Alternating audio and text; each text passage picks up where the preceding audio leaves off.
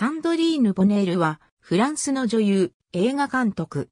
日本語表記に品質する、ボヌールは、全くの誤り。1967年5月31日、フランスアリエ県ガナで11人兄弟の7番目に生まれる。女優として14歳の時モーリス・ピアラ監督の愛の記念にで主役デビュー。17歳の時、冬の旅でセザール賞最優秀女優賞を史上最年少受賞。同賞には計6度ノミネートされている。1995年の沈黙の女、ローフィールド間の惨劇でベネツィア国際映画祭女優賞を受賞。プライベートでは1992年のプレーグで共演したウィリアム・ハートとの間に娘が一人いる。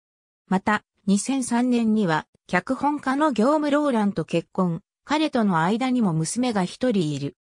2007年5月27日、第60回カンヌ国際映画祭で自閉症の妹、サビーヌを主題としたドキュメンタリー作品の監督作、LS アペル・サビーヌが、批評家、監督週刊部門国際批評家連盟賞を受賞。